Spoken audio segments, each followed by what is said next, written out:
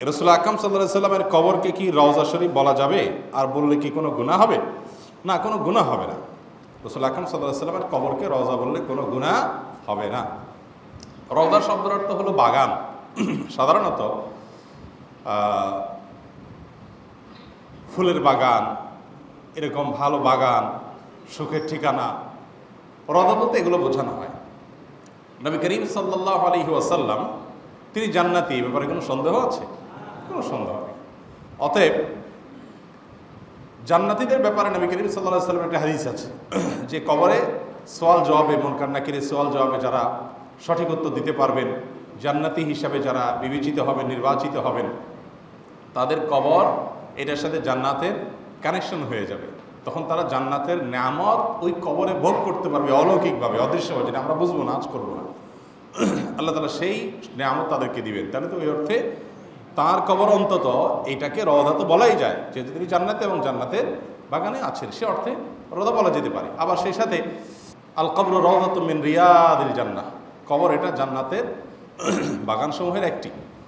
তো যদি সেটা নেকামলকারী মানুষের ইমানদারের কবর হয়, তো সে অর্থে এটা রদা হতে পারে। কিন্তু রসুল আকরম সাল্লাহ সাল্লামকে কবরকে কবর বলা, এটা সাহাবিদের ভিতরে প্রচলন ছিল ব্যাপকভাবে। সাহাবির রসুল আকরম সাল্লাহ সাল্লামের কবরকে কবরই বলতেন, যত হাদিস পাওয়া যায়। আপনি দেখবেন, কবর রসুল্লাহ সাল্লাহ সাল্লাম কবর রসুল, এভাবে এরকম শব্দ এসেছে খুব ব্যাপকভাবে। তাহলে রসুল আকরম সাল্লাহ সাল্লামের কবর বললে অসম্মান হবে, বেয়াদবি হবে, কবর বলা যাবে না, এরকম যদি কেউ মনে করে, সেটা নিছক, বাড়াবাড়ি এবং একেবারে পরিষ্কার, ভ্রান্ত ধারণা।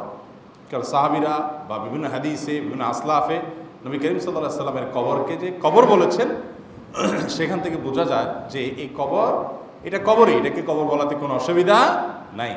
কেউ যদি আপনার এটাকে রওদা বলে, তাহলে সেক্ষেত্রে তিনি কোনো ভুল বলেছেন, অন্যায় করেছেন, ব্যাপারটা সেরকমও না। মূলত এটা কবর রদা বললে সমস্যা নাই। ছয় রোজার পর ঈদ পালন করতে হবে কিনা? ভালো প্রশ্ন তো। ছয় রোজার পর ঈদ পালন করতে হবে কিনা? এই ভদ্রলোক যে প্রশ্ন করেছেন, উনি চিন্তা করছেন যে তিরিশ রোজার পরে যেহেতু ঈদ আছে, তো ছয় রোজার পরও তো একটা ঈদ থাকার কথা। হয়তো ওই হিসাবে উনি প্রশ্ন করেছেন। আবার জিলহজের আগে রোজা আছে, তখনও তো আবার ঈদ আছে। অবশ্য সেই হিসাবে মহারমের শুরুতে মহারমের দশ তারিখে আশুয়ার রোজা আছে, ওইটার জন্য ঈদ থাকার কথা। তাহলে প্রত্যেক মাসের তেরো, চোদ্দ, পনেরো আইয়া বীজের রোজা আছে, তখনও ঈদ থাকতে হবে। তো গোটা জীবনে তো ঈদে ঈদ ঘুরে যাবে। মূলত ঈদ দুইটা মুসলমানের। একটা হলো রমদানের সিয়াম পালনের পর আর একটা হলো জিলহজের প্রথম দশ দিন ইবাদত করার পর। দুইটা ঈদ। আর তৃতীয় কোনো ঈদ নাই। জুমার দিনকে সাপ্তাহিক ঈদের দিন বলা হয়েছে, সেটা ভিন্ন বিষয়। যাই হোক, তো এই জন্য সাগলের ছয় রোজার পর আলাদা কোনো ঈদ নাই।